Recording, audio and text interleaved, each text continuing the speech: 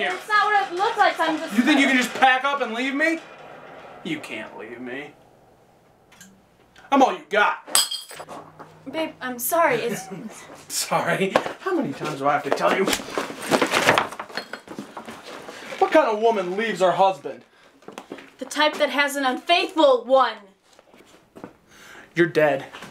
You're gone. You're nothing. You are such a pathetic bastard. You can't even cheat without getting caught.